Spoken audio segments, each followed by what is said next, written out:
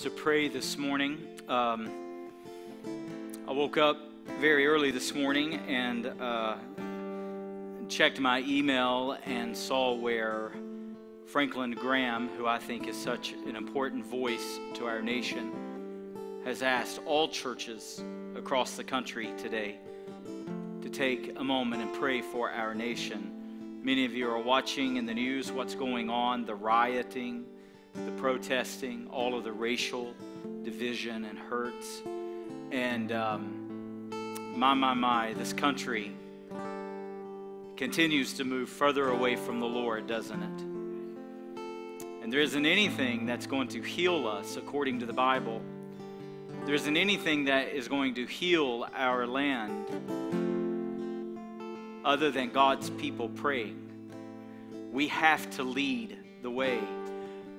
Scripture says, if, what a condition, if my people who are called by my name will humble themselves, pray, seek my face, turn from their wicked ways, then I will hear from heaven and I will forgive their sins and heal their land. Will you join me this morning and may we pray for our country? Father, we pray for this great nation, this nation that you have raised up, this nation that is uh, what it is by the sovereign decree of the Lord. We thank you, God, for our country. We thank you, God, for all that you've done in our past. But God, you see the sins of this land, you see the sins of this people. And Father, today we want to take our rightful place in humbling ourselves under the mighty hand of God. And Lord, we repent on behalf of this people. We repent, Lord, as Daniel did in Daniel chapter 9. God, we repent on behalf of this country, O oh God.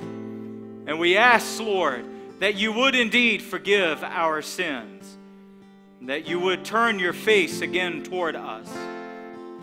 And as you are sending warning sign after warning sign. And as you are dealing bountifully and gracefully with us, as it is indeed, Romans 2 4, your kindness that is leading this country to repentance. Father, we take our place. If judgment begins, let it begin at the house of God. We take our place and we repent on behalf of our people on behalf of this country, on behalf of our leaders, Lord. We repent and we cry out to you today heal our land. Send revival, O oh God, to this country. Let our pulpits be places of fire. Let our churches be places of fire, Lord God. Do a work that only the hand of God can do. Jesus' mighty name. Amen and amen. Amen. Thank you guys for those wonderful songs. I want to invite you this morning to turn to uh, Revelation chapter 20. Before I get into the text, I just want to share for just a second with you about uh, what the Lord has been speaking to me all weekend. Friday night, I had the opportunity to be at uh, some wonderful friends of ours. They were hosting a prayer gathering. There was probably 30 to 40 of us at this prayer gathering. And the Lord uh, led my friend, Pastor Doug Tweed, to minister on Ezekiel 37 on the valley of dry bones. And we began to pray for our country, even there, prayed against the spirit of racism and division and all these things. And it was just a mighty, mighty prayer gathering. I, uh, I just can't tell you all that the Lord ministered to my heart in, in that time. But one thing that the Lord showed me, in, uh, and I'm sure there's many who've seen this before, but for me, I had never seen it in the text. And when Pastor Doug was ministering on the Valley of Dry Bones and how the Lord spoke to Ezekiel and said, Prophesy to the bones. And of course, if you know the scripture, there was a great noise and a rattling and bone came to bone, right? Joint to joint, and flesh upon the bones. But I had never seen this in all of the times that I've read. I've never noticed what happened next. I know the story, but I never really, it never clicked. That ever happened to you with the Word of God? You know something, but then one day it clicks, you know, the light comes on. And here is this valley of dry bones that now has flesh and this and this vast army, this mighty army, and scripture says that Ezekiel tells the Lord, there's no breath in them. Now, I don't mean to read too much into the text, but it seems to me that if Ezekiel, by instinct, knew what to do next, he would have done it. But the way I read the text is Ezekiel didn't know what to do. That's why he tells the Lord, Lord, it happened. The miracle took place, but now, oh Lord, what? There's no, there's no breath in them. I imagine the scripture doesn't tell us, but I, I wonder how long Ezekiel stood there staring at it, not knowing what to do next. And I just, the Lord so ministered to me through this because I don't know where some of you are, but I know I feel in my own spiritual journey, I'm about where Ezekiel stood at that moment. I've seen God do so much. I've seen God answer prayer. I've seen God do miracles up to a certain point, right? I've seen God answer prayer up to a certain point. But now, almost like Ezekiel, I feel like I'm staring at at some things I'm praying about. And as most everyone knows, my, this blindness, and, and, and there are people's salvations that we've been fervently and earnestly calling on the Lord on their behalf. And I'm almost like Ezekiel, where I'm saying, God, we've prayed for this person for so long, and we fasted over this person. And God, we've been praying for this wayward son, this wayward grandchild, this wayward husband or wife. And the list could just keep going. And I feel like at times I'm just standing there like Ezekiel, going, Lord, there's no breath. There's nothing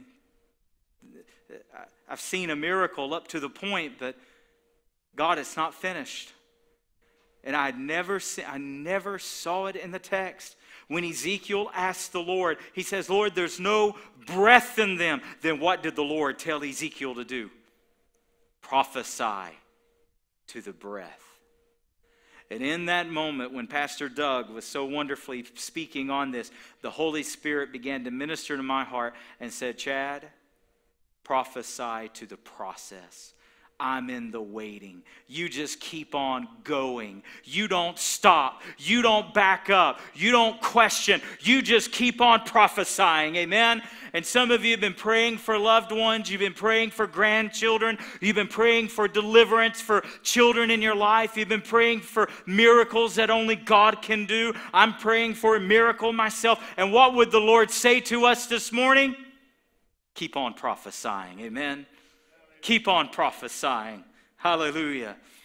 So I don't know where you are, I don't know what you're facing, but I know the Lord's telling me today to tell you don't quit, don't give up, don't back down. You just keep on going. Amen. Revelation chapter 20 today, uh, on our first two Sundays back in quarantine the Lord laid a scripture on my heart concerning eternity. I think so many people are, perhaps for the first time in their lives, they are really thinking about serious matters, more serious than the bottom line of their jobs, or more serious than that next promotion, or getting that vacation home, or buying that new car, or whatever. I think many people, for the first time, are seriously contemplating the state of their souls. And so I wanted to do a two week series before we jump into our Seven Churches of Revelation series beginning in June. I wanted to take opportunity and speak concerning the judgments that are to come. Last Sunday, we talked about the judgment, what Scripture calls the Bema judgment seat of Christ. We were in 2 Corinthians chapter 5 verse 10, 1 Corinthians chapter 4. And we saw that if, if for some reason you weren't able to join us and you're just jumping into this, we saw that the bema, which simply means platform, it means step up. We talked about how a judge's, uh, in a judicial sense, uh, a judge's bench or a judge's bar is elevated than those in the docket, right? It's the same in our culture today. It was the same in Paul's culture. We talked about an Olympic athlete winning medals would be on a bema, on a platform. We talked about military, how generals would give medals out on a bema or a platform. And what we saw was the judgment seat of Christ is not a judgment of sin. It is not a judgment of whether or not an individual is saved. in fact, if you are at the judgment seat of Christ, it's because you are, in fact, born again and you're a New Testament, grace, church age believer. and what we saw we saw this beautiful scene of the throne of God in Revelation chapter 4 and 5, how there is a number that no man could number, and who was around the throne of God. We answered all of this last week. It's believers.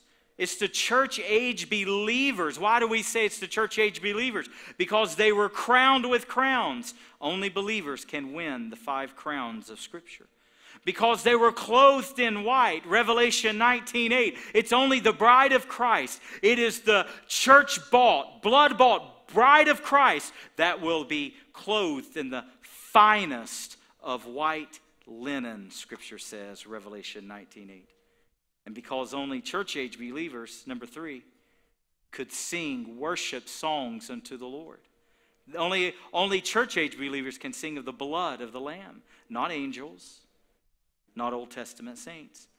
And so we saw this great judgment, and, and, and here's what we said this is not a judgment of sin, and it is not a judgment of whether or not you're saved. Rather, this is an evaluation of a believer's life. This is where the Lord will give rewards. And this is where we will stand before the Lord, and God will reward the way that we live. And he'll try our works, 1 Corinthians 3. Either by, uh, our works will either be haywood, stubble, or there will be gold, silver, and precious stone. And he'll try them by fire.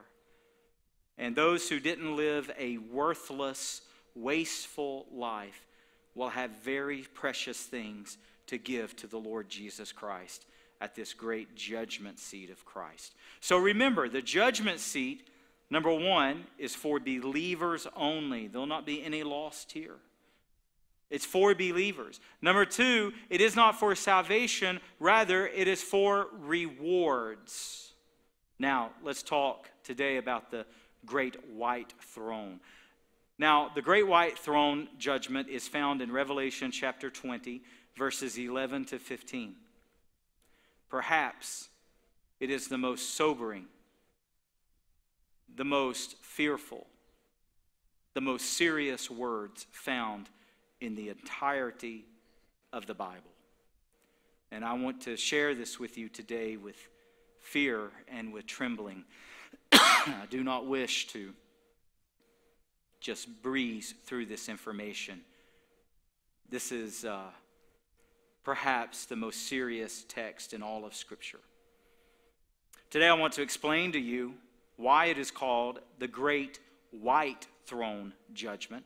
I want to explain to you who will be there, and I want to explain to you the finality of what Scripture says this event is. So, number one, in verse 11, you'll notice John says, Then I saw a great white throne.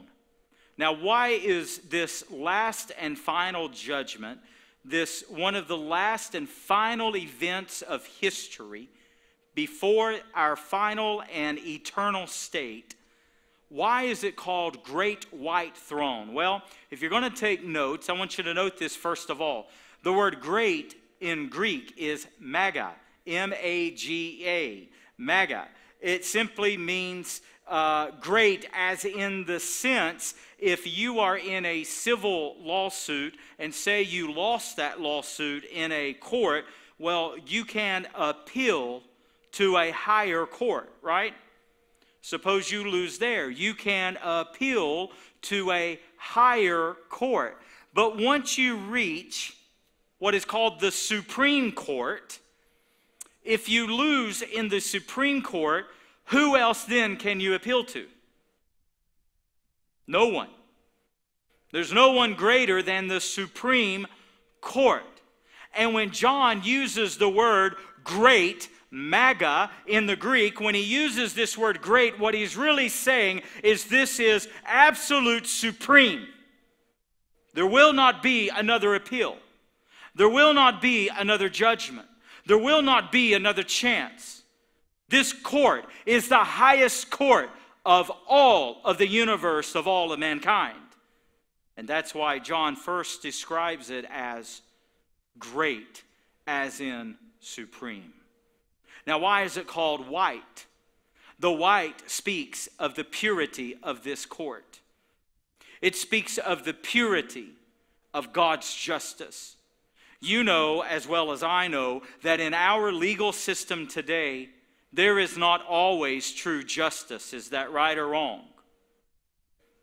I have actually been to court many times with uh, either people who asked me to join them or you know, someone in our church got caught up in some kind of situation and they've asked me to go as a character witness or whatever the case is. And I've actually been to court many times.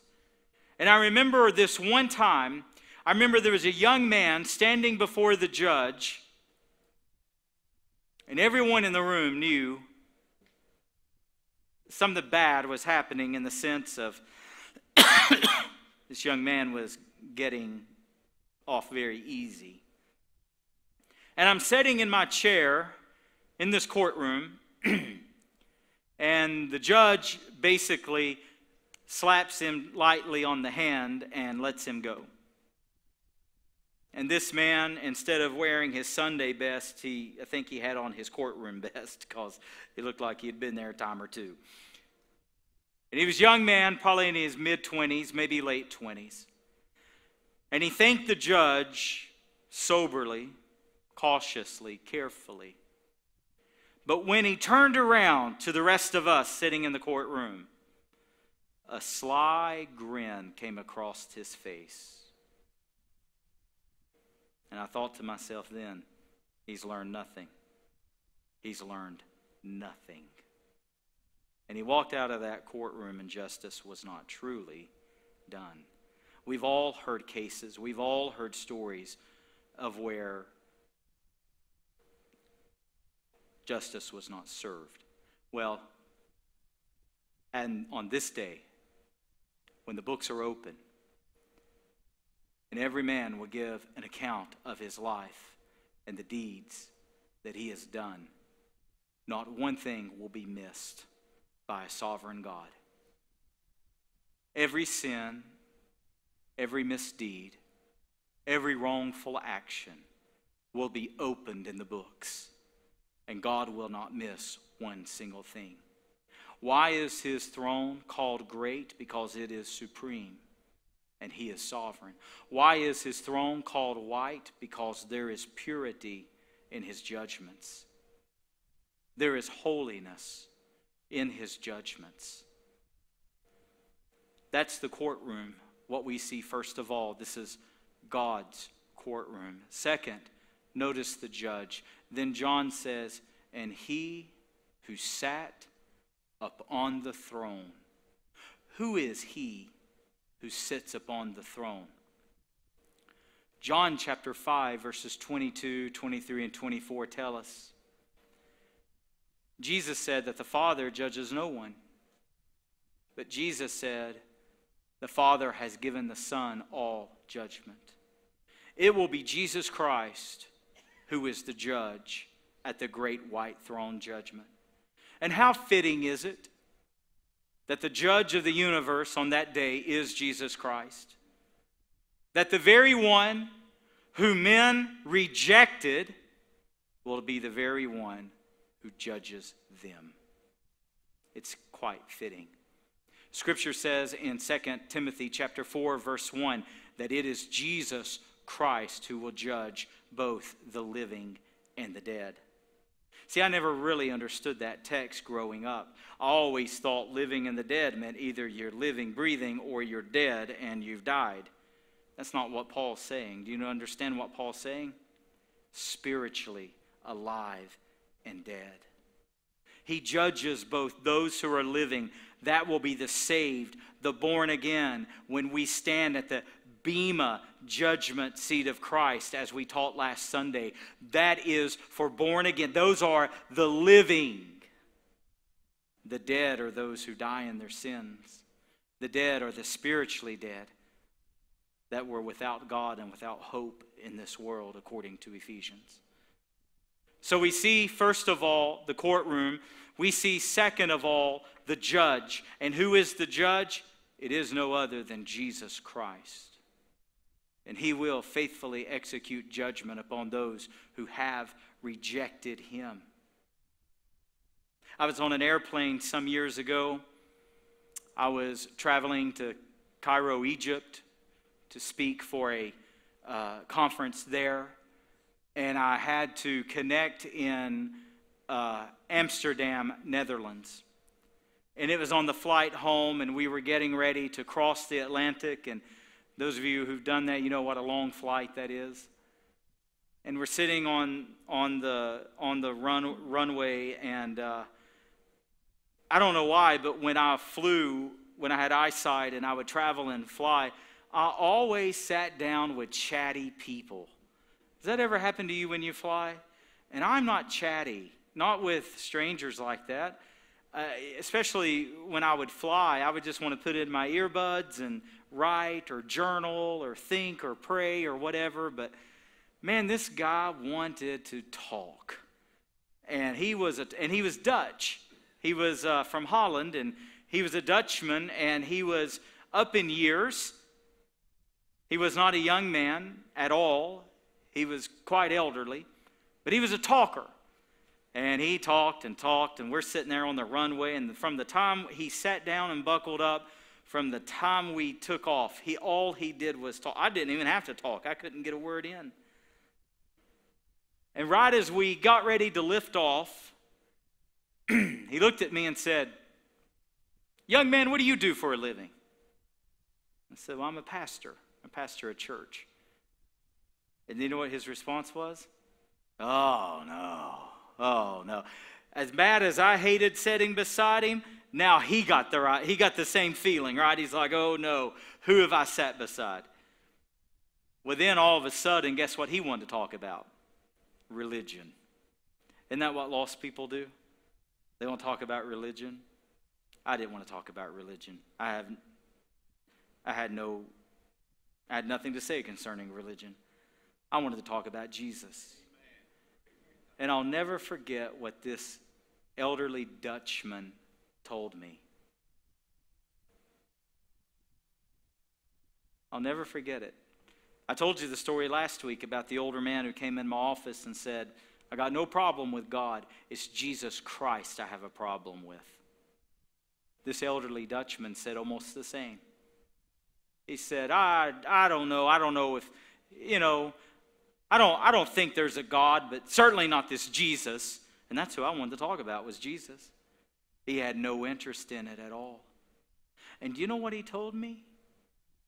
He had no fear of Jesus Christ or of God Almighty. What a terrible state. You know, that was many years ago. I don't know if that man is still alive today. But listen, when you and I stand and give account for our lives, it will be Jesus Christ who we stand before. What have you done with him?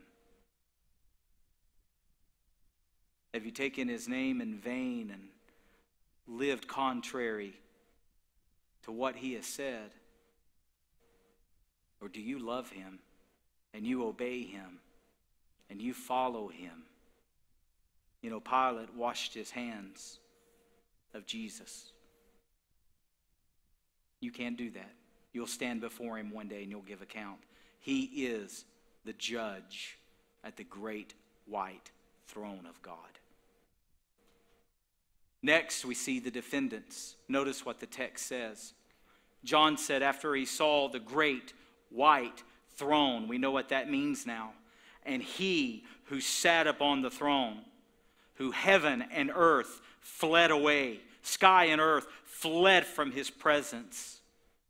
Notice what he said. Then I saw the dead, both great and small.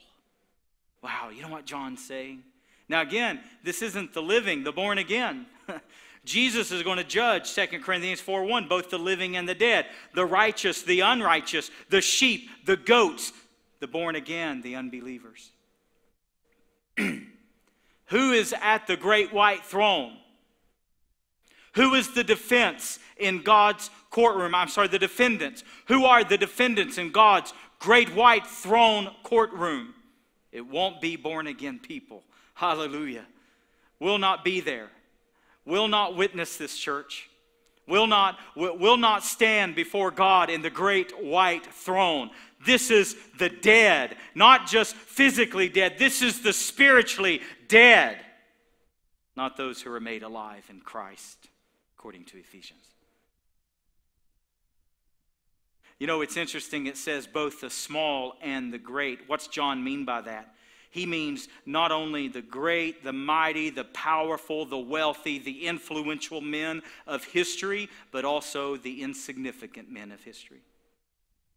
Those who no one recorded their name, they'll not slip past a righteous God. Both the great and the small. No one will be too big and no one will be too insignificant. Think about that. You know, that Dutchman who was on that airplane ride with me that day, as I tried my best to share the gospel with him, I tried my very best as God enabled me to share the gospel. You know what he told me? He said, I don't believe that when you die, there's more to come. He said, I just think that's it. You're dead, you're in the ground. Just like you had no you had no existence before conception and you'll have no existence after death. You're just done. You're finished. You know what that's called? That's called the doctrine of annihilation. Listen carefully.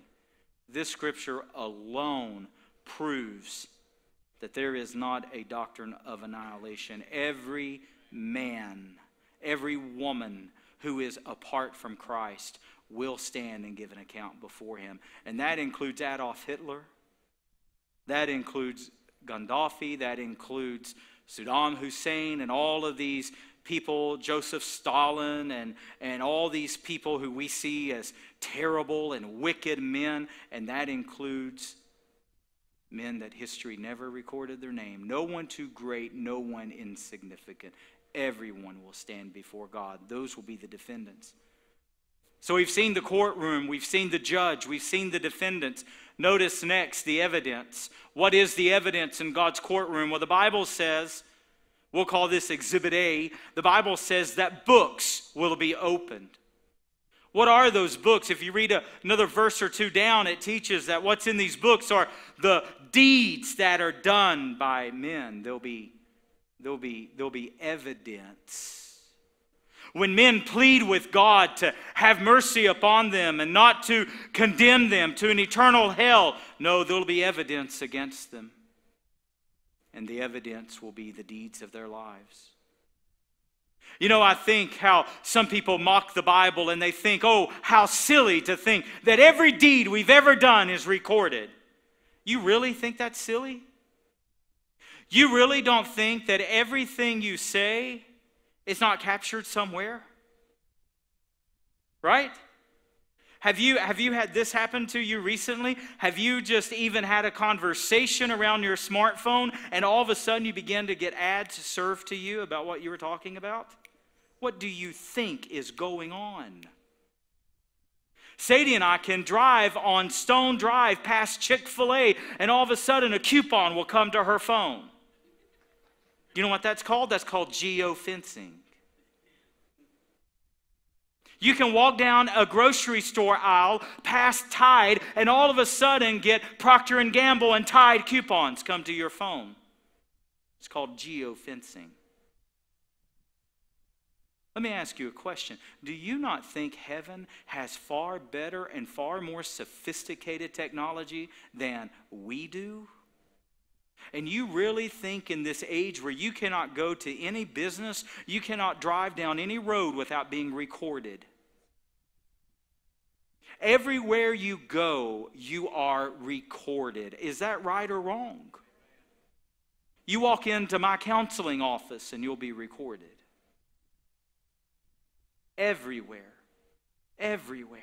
And you don't think heaven is not keeping a detailed account of your life you would be foolish to think otherwise.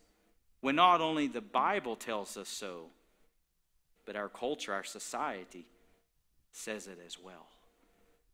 The evidence. Now, some scholars think that not only is there going to be the evidence of the deeds of our lives, some scholars believe that the Word of God itself will be one of these books. I tend to agree with them. Our lives will be judged based upon our response to the Word of God. But then there's another exhibit, there's another evidence, Exhibit B. There's not only the books, but there's what Scripture teaches as the book of life. And listen to what it says. It, well, go back to Luke chapter 10. Do you remember what Jesus told his followers the first time he sent them out? And they came back rejoicing, saying that even demons are subject to us under your name. And do you remember what Jesus said? He said, Don't rejoice at these things, but rather rejoice that your names are in the Lamb's book of life. Rejoice that your names are recorded in heaven. Hallelujah. Amen.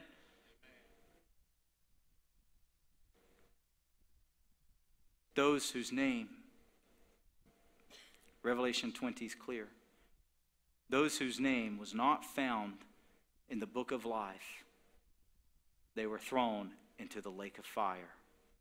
Friends, God's sentencing, God's verdict will be just. And He'll have the books of the deeds of men and women's lives. He'll have the Word of God, no doubt and he'll have the book of life. And with all of that evidence, how will anyone be able to stand before the great white throne and present an argument? No, friends, they won't. Warren Wiersbe said it so well this is the only court that will have a judge but no jury that will have a sentencing with no appeal. There is a finality to this verdict. So we've seen the courtroom, the great white throne. We've seen the judge, Jesus Christ, he who sits upon the throne. We've seen the defendants, the spiritually dead, both great and small. All of mankind who are not born again will stand before this great judgment on this great judgment day. We've seen the evidence, Exhibit A, the books, Exhibit B, the book of life. And now, lastly, we see the verdict and the sentencing. The verdict will be guilty as the books are examined. And Scripture says that death and Hades gave up their dead, and the sea gave up their dead. You know why John says the sea? In, in, in ancient times, the sea was uh, regarded as the most, uh, what's the word I want to use there? It was the most, um, oh, come on, Chad. Uh, I can't find the word I want to use. It was the last place man could ever go to. It's, it helped me out, somebody who's a wordsmith.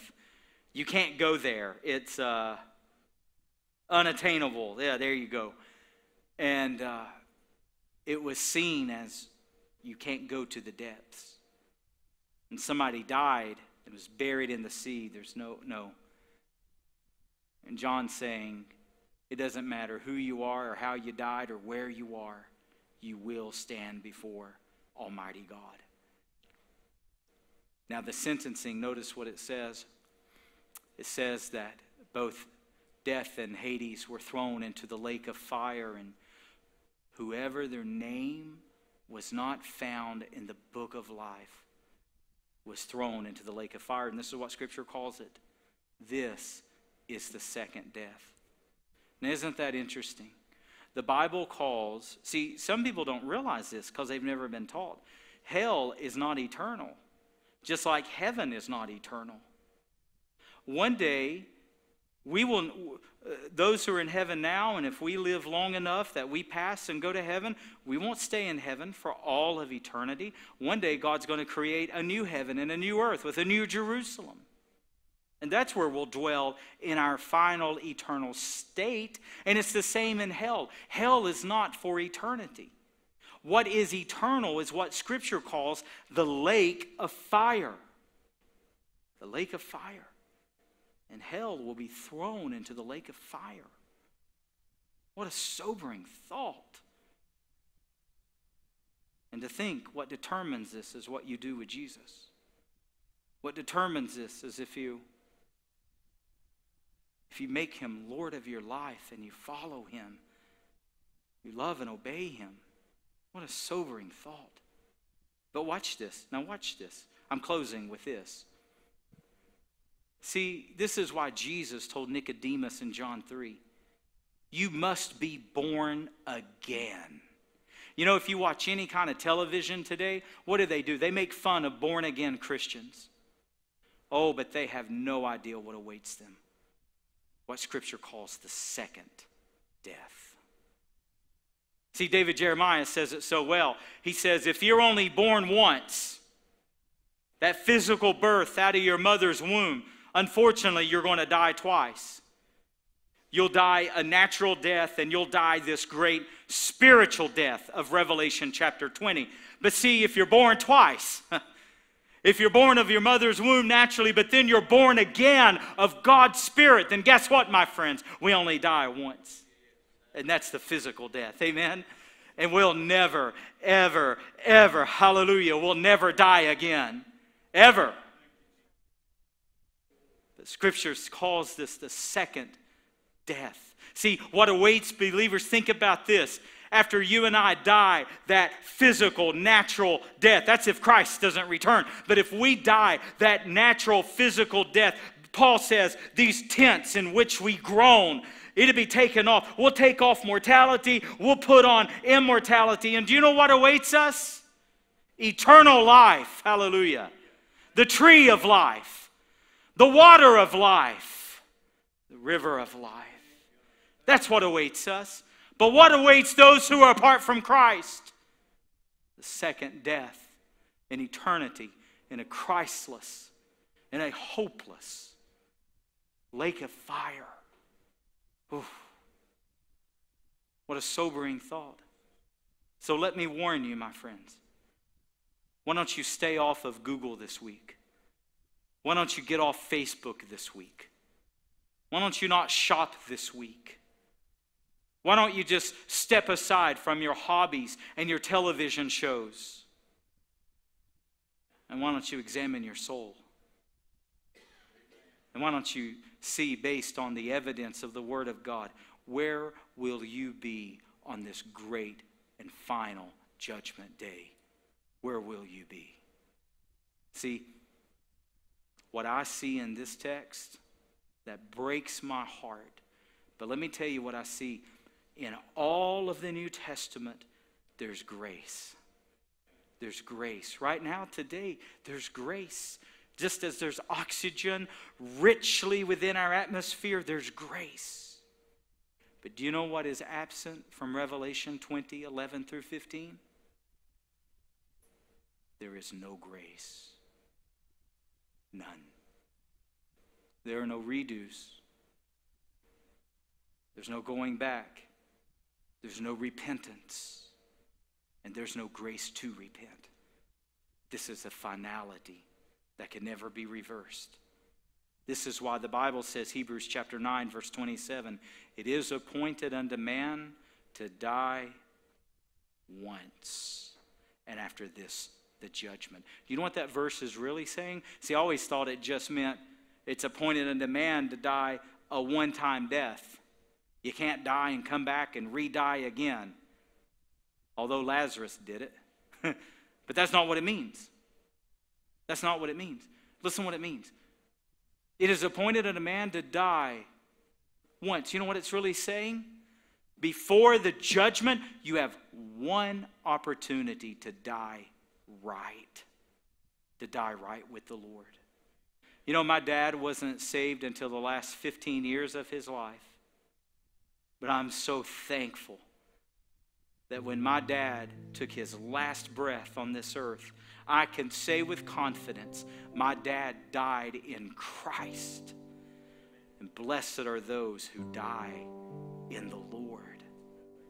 Can you see why that verse means so much? Blessed are those who die in the Lord. Because, friends, they'll never stand before the great white throne judgment.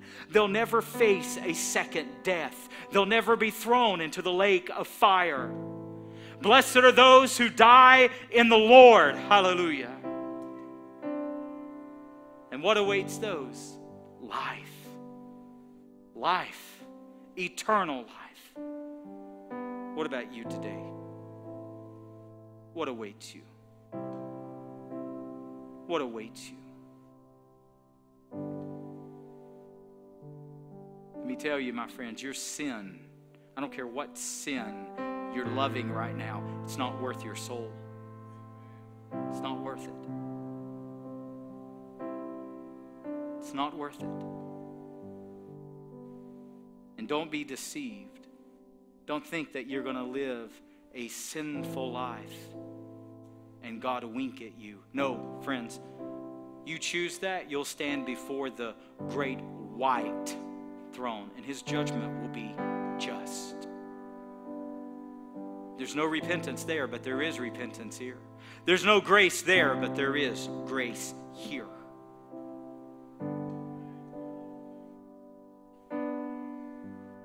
Let's pray right now. God, I don't know who you're dealing with, whether in the building or those watching online. But oh God, would you convert them? Would you soundly convert them? Let them pass.